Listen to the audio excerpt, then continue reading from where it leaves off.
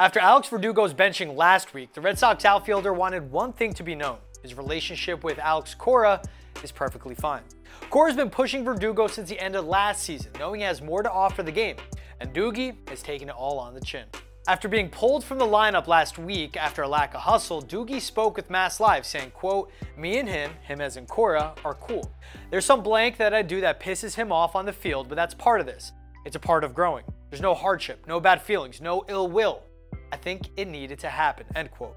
Verdugo shared that Cora's comments last season fueled him heading into this season, and he's been one of Boston's top bats and fielders.